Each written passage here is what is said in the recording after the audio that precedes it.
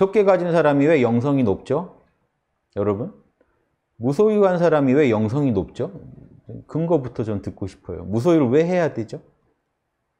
왜 하고 있는 거죠? 무소유를? 이걸 가지면 어떻게 되나요? 육바람이 한데 장애가 되나요? 참나를 만나는데 장애가 되나요? 뭐가 문제죠? 무소, 왜, 왜 소유를 하면 안 되죠? 부처님 당대에도 그 엄청난 사원들이 있었어요. 기증받은. 그거 다 누군가가 피땀 흘려 번 집이고, 그 돈 그걸로 만든 집이고 이겁니다. 황금 깔아가지고 만들고. 그러니까 결국 소유가 있어야 우린 살아요. 근데 내 거라는 소유만 없으면 되나요? 결국 소유란 거, 내 거라는 그, 그 집착을 하지 말라는 거 아닌가요? 결국 소유하고 있으면서 공유한다는 느낌으로 결국 쓰라, 써야 내가 사는 거 아닌가요?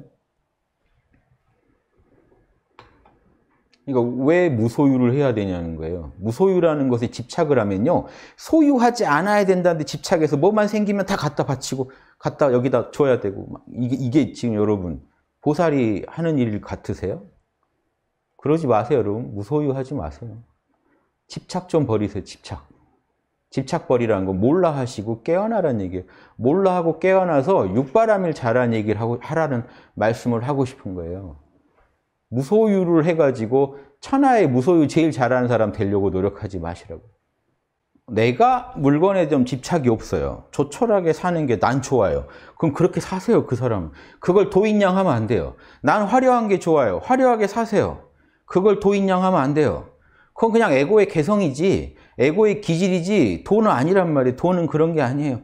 많이 가졌다고 도가 없는 사람도 아니고, 가진 게 딸랑 의자 하나라고 해서 그 사람이 도가 있는 게 아니에요. 많이 가진 게 버거운 사람은요, 덜 갖는 게 편하니까 덜 가지면 돼요. 근데 많이 가져도 나는 안 힘들어요. 더 많이 가져도 돼요. 감당할 수 있다는 얘기니까. 돈은 그게 아니에요. 그 가진 거를 어떻게 쓰고 있냐는 거예요. 육바람일에 맞게 쓰고 있냐, 깨어서 쓰고 있냐, 아공, 복공, 구공의 논리로 쓰고 있냐, 아니면 사리사욕에 쓰고 있냐, 이건데, 자꾸 무소유니 뭐니 하는 말 날리면 중생들이 다 헤맨다고요.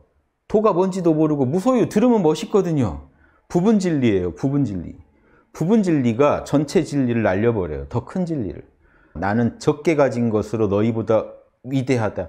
나는 내 역할을 하고 있다라고 생각한단 말이에요. 육바람일을 해야 되는데 무소유로 자기 만족을 하고 있으면 큰일 납니다. 안빈, 낙도, 안빈. 가난을 즐긴다. 변태예요, 변태. 가난을 즐기는 변태. 어, 나는 저 비싼 밥은 절대 못 먹어.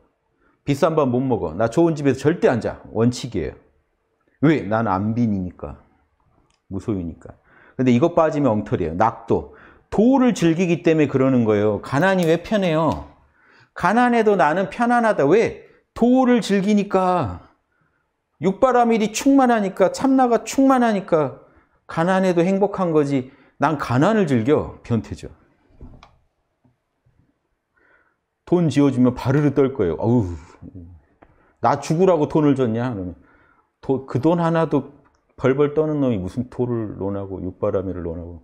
무소유가 중요한 아니라 나한테 소유로 온 것들을요, 잘 써가지고 백배, 천배 이득이 남게 뻥튀기를 하는 게 훌륭한 보살입니다. 나한테 온 소유물을 물진 기용, 인진 기재, 사람은 재능 다 끌어다 쓰고 사물은 재주를 다 부리게 해가지고 재능, 재능을 다 부리게, 효용을 다 쓰게 해가지고 여러 중생들 돕고 구하는 게 좋습니다. 무소유 그러면 소승이에요, 소승. 대승이 무슨 무소유예요. 청빈이니 가난이니 다 소승입니다. 대승하는데 청빈 가난 해가지고 중생 어떻게 도와요?